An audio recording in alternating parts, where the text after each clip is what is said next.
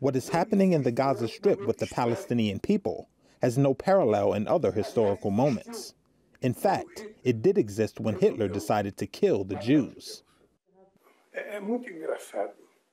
It is very funny, very funny, when I see the rich world announcing that it is stopping contributions for humanitarian relief for Palestinians. Parando de dar contribuição para a questão humanitária I am left wondering how big the political conscience of those people is, and how big is the heart of solidarity of those people who are not seeing that in the Gaza Strip there's no war going on. It's a genocide.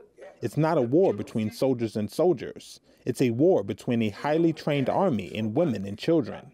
É uma guerra entre um exército altamente preparado e mulheres e crianças.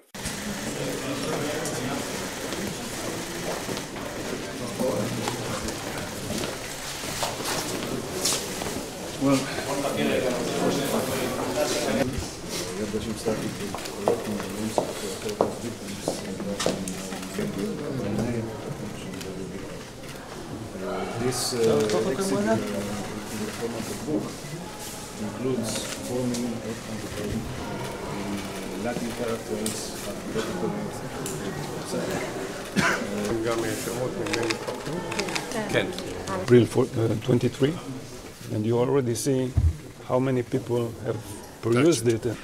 This is based on a page of testimony. דווקא למקום הזה, ליד ספר השמות,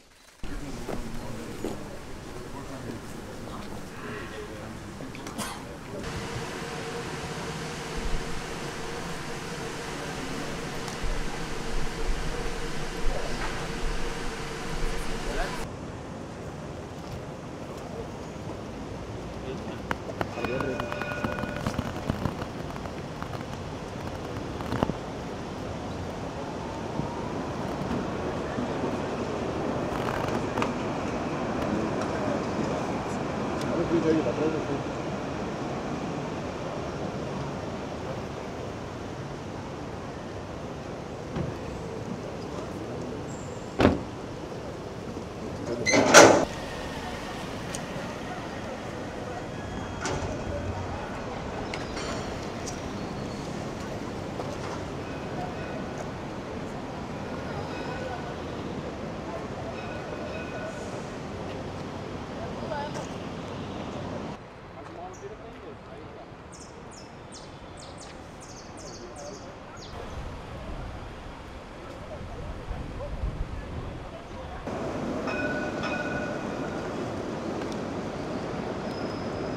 Yahoo.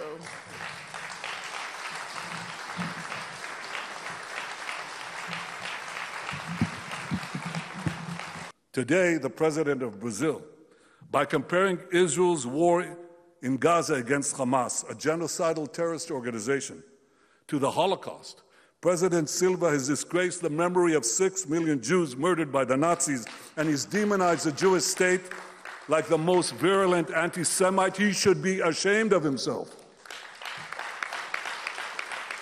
The release of hostages can be achieved through strong military action and tough negotiations, very tough negotiations.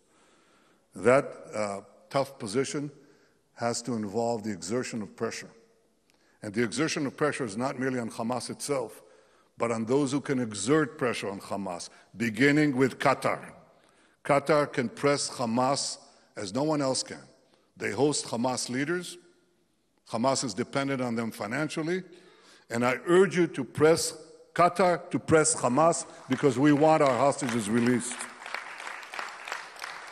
We cannot leave a quarter of Hamas's terrorist battalions intact. No one would do that in the case of fighting ISIS.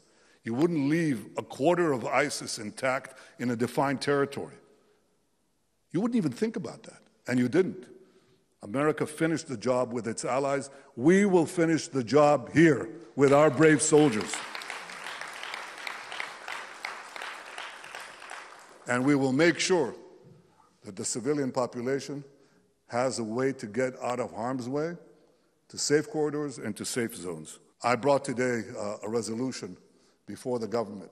I want to read it to you. Israel utterly rejects international diktats regarding a permanent settle, settlement with the Palestinians. A settlement, if it is to be reached, will come about solely through direct negotiations between the parties without preconditions. Israel will continue to oppose unilateral recognition of a Palestinian state. Such a recognition in the wake of the October 7th massacre would be a massive and unprecedented reward to terrorism and would prevent any future peace agreement.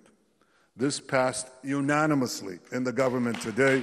It will pass tomorrow in the Knesset, I think with an overwhelming majority, and I hope that the conference can consider adopting this statement as well. This will send a message of unity unity inside Israel, unity outside Israel, unity between us. Israel is united as never before. The army is united as never before. The public is united as never before. And we are united, and we are united with you for one thing total victory. Total victory will give us security. Total victory will give us peace and an expansion of the peace with our Arab neighbors. And total victory will ensure our future. Thank you, friends. Thank you, the Conference of Presidents.